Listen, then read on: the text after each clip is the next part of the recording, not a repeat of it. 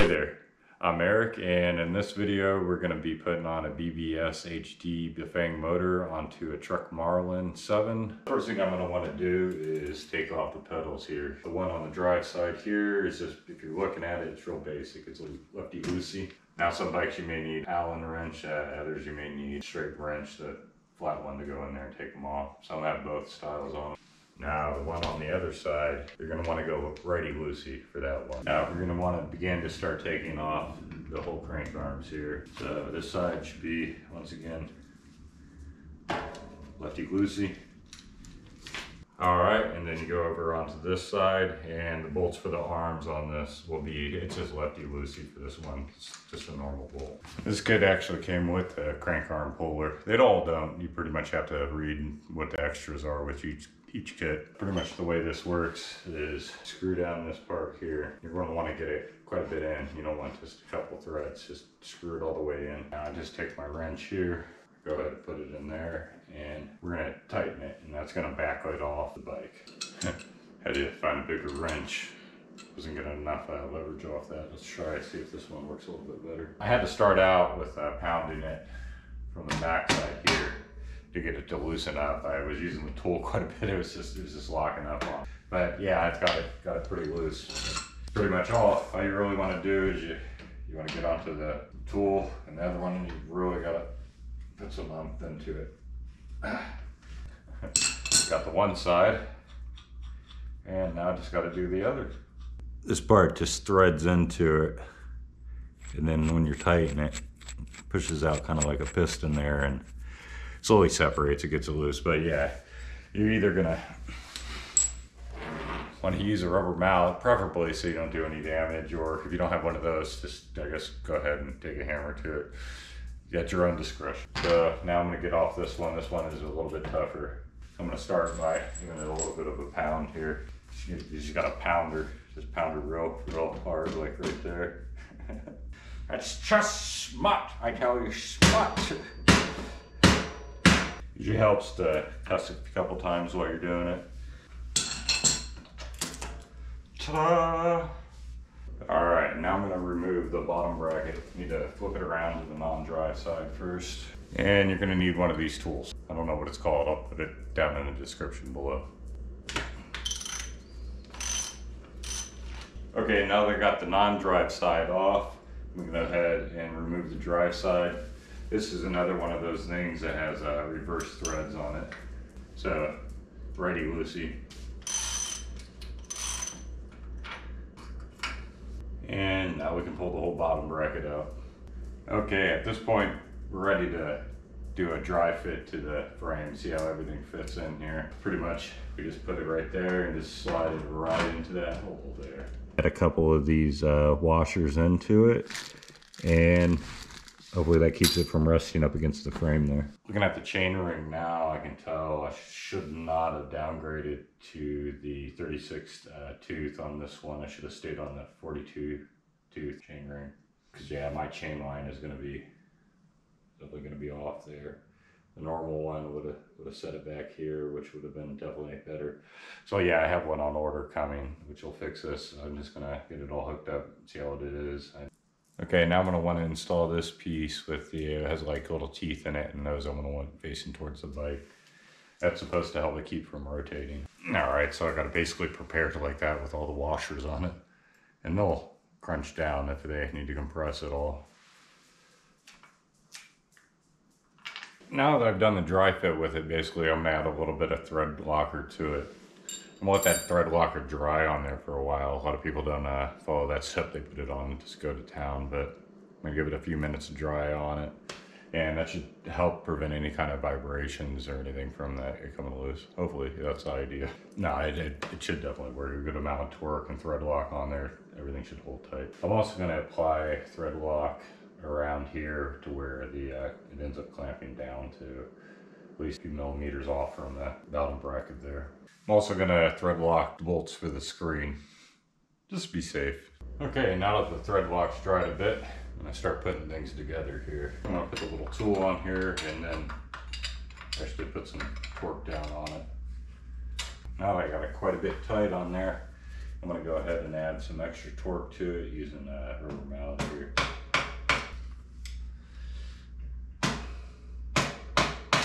And that's about it for this bike. I can't actually add on the next ring. There's not, I don't I believe there's not enough threads. I don't know. Let's try. Find out. Um, I was wrong. We can just add this outer outer ring onto it. I'm gonna go ahead and put that onto it. And this one is made out of aluminum, so I'm not gonna actually use a mallet on it. It's just here to keep the other one in its place. Now before I put the pedal on, I'm gonna go ahead and bolt the chain ring on using the five provided nuts. Of course, later I'll be getting uh, the 42 tooth back to try to correct that, but I can already tell is gonna be a chain line issue for uh, some of the higher gears. So I'll have two different chain rings to mess around with the 36 here and then a 42. We're gonna boot. Gonna go ahead and bolt this in. They already got thread lock on these. Looks like they actually provided me with one extra little bolt there. That was nice of them. It's better than the alternative where you find yourself one short. Now they got that loosely on there, I'm gonna go ahead and tighten them into a star pattern here. All right, I'm gonna go ahead and put the chain back onto the chain ring just to kind of assist and tighten everything up.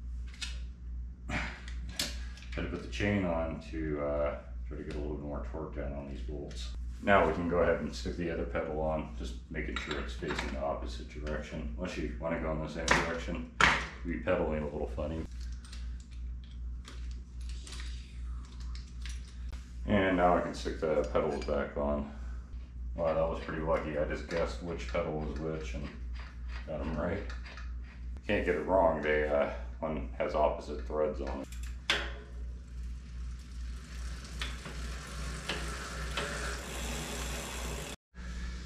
Yeah, I could get it to shift into all of them. Uh, it went into the lowest gear, but then the chain ring went ahead and threw the chain off of it.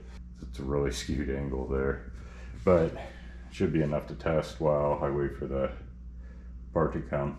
So yeah, I'm waiting on a 42 2 chain ring, and then I already have actually another chain because this one that's pulled pretty tight there to get to that gear. So when I go up to anything like a 42, yeah, I'm definitely gonna need more chain length. So I went ahead and got, got me another chain. Now I'm gonna install the speed sensor. First, this little guy attaches to one of the back spokes. All right, so this goes on with a simple screw. Yeah, well, it's not actually a screw, it's a, I don't know what you call these. Okay, now I got the speed sensor. I'm gonna put a couple of zip ties to the back of it and find a good place for it. All right, and then I'm just gonna take off the little sticky back and it looks like I'm gonna get the most potential clearance right about there. Also, while I'm at it, tight down little adjustment screw. Okay, that should work. And now I'm just gonna tighten up my zip ties here. And I'll basically clip those off later. Then you just pretty much line up your magnet sensor to where really close to it, but not actually hitting it. Since I don't actually have the driver for this one, I'm gonna use my needle nose pliers. Then I'm gonna take the speed sensor wire, which I'll end up finding a way to clean these up up under here. But you screw that into that post there, and hence you got a speed sensor. And basically that cable will only go in one way. It's got a flat side on it. Okay, now we're gonna install the gear shift sensor. That basically goes on, well, the back gear cable there. So I'm gonna take off the end ferrule and put this on right off. But yeah, don't, don't cut your wire or anything to get those off. Just use the needle nose pliers and uncrimp them. All right, now I think I'm gonna shift into probably the littlest gear would probably be the easiest for this, for the highest gear, I guess.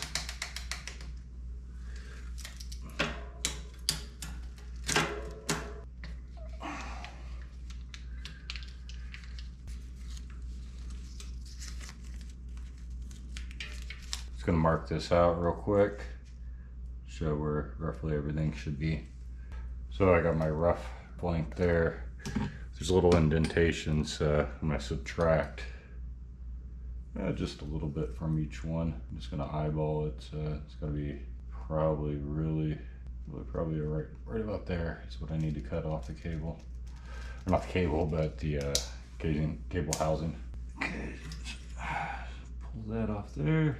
Remove these zip ties here, which I'll just replace later. That one's not a zip tie, it's some kind of weird. I don't. Oh, there it went.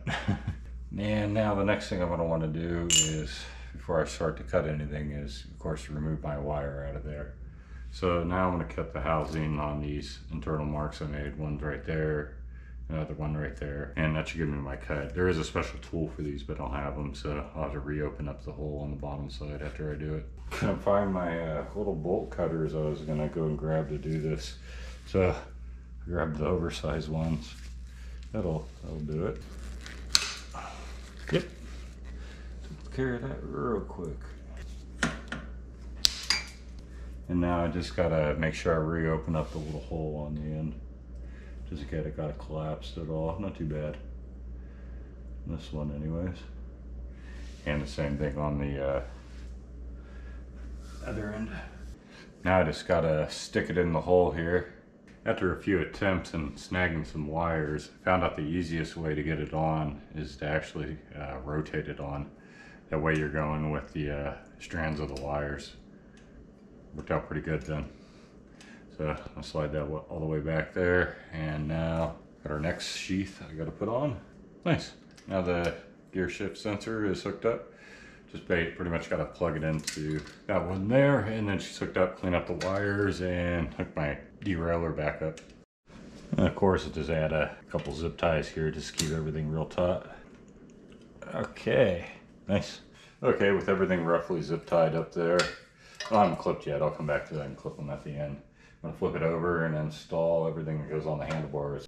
I think the screen looks pretty good right there so I'm gonna screw it down real quick and also do the little uh, controller over here. Okay, now I'm going to throw the harness cable on there real quick just to test it out, make sure everything's going all right. And with the uh, basic throttle on so I can actually test the motor out. Let's give it a little test.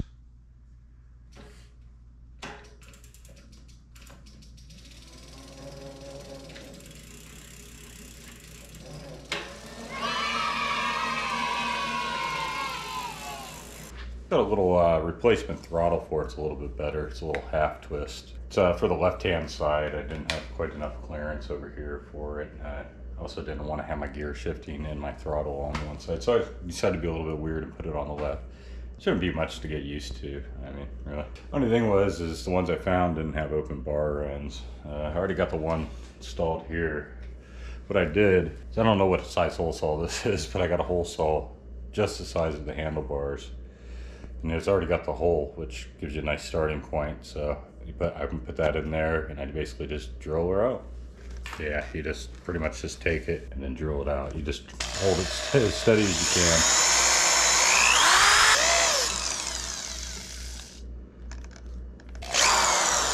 And just like that, she's drilled out. So now I can push it all the way on and beyond to get my bar ends on. I'm gonna install that throttle real quick after I take all the bar ends and everything off of it. Okay, the next thing to do, since I have hydraulic brakes on this bike, I didn't want to replace. It. So what you get is you get the sensors that work off a magnet. So when it's close, it sees that it's not braking. When it's going away, it sees that it is braking. On the Trek here, pretty much the only spot to stick it in would be to have the magnet there and have this tilted up at an angle like that. And then that seems to work pretty good there from any of the tests I did. The whole trick gonna be to get it to stick. Made us end up using a gob's worth of JB weld there and uh, just kind of fill it in, get it to stick. Uh, to be continued. Okay, got a JB welded in real good. Basically just taped it up there, put a little bottom on and just kind of shoved JB weld in there until I could make it like, almost look like a flat surface. So I'm gonna let that dry for a bit. Okay, didn't come out too bad looking. Not too bad. So basically I'll end up hiding the wire down along like that. For the next step, definitely gonna want to turn on the screen. And then I'm gonna start with one side at a time. So yeah, I gotta unplug the one. And now I can see on the screen anytime that that little brake sensor's on that the magnet's not near. So I'm basically positioning the magnet as close as I can to the thing to get the thing to disengage the brakes. Really what I want an optimal positioning for this thing is for the brakes to come on when I just barely tap this. I'm gonna play around with the magnet and find a good position for that, and then I'm gonna JB weld it to the, also to the hand. I'm gonna also JB weld it to then to the bike. And this is just for those people like uh, Brent that want to quote the law constantly at me. Here you go. This is for uh, anybody looking at the motor. They'll think the BBS 01 250 watt. I think they would have tried to get that a little bit closer in reality, but whatever. Yeah, they're all about the same size. So just gonna go ahead and stick this right on here. Aren't you good to go? All I gotta really do is take my uh, wire harness here, kind of clean it up, probably go up and under there, and then I'll bungee all these wires up and under and find them real good. Okay, pretty much the only thing I need to do before I go and give it a test ride is, well, one, I gotta wait for the sun to come up. So the other thing I'll do end up on another video is I'll end up shortening this cable. I want to have internal routing so that the cable will end up going, coming out there and then coming out the bottom. I'm gonna give it a quick test ride. I'm gonna give it a, I guess a speed test and I'm also gonna do a hill climb. I can't use the lowest gear, but I should be able to get a good indication how much stronger than it is than my old hub motor. All right, all geared up. Got my helmet on. Got the backpack on, which I got the battery in, just in case anybody's wondering how I'm powering this guy. So yeah, so I pretty much just put the battery into the backpack and I just have that power cord hanging off of it and plug it into the bike. All right, let's see what this girl can really do.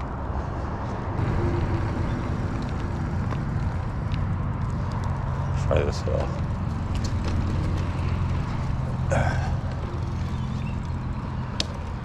Oh.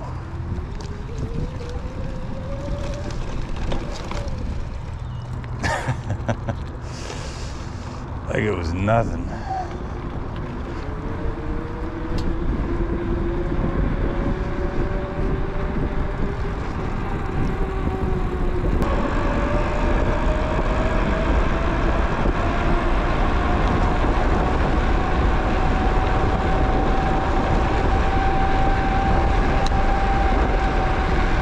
Nice. I made it to the end of uh, New River Trail here.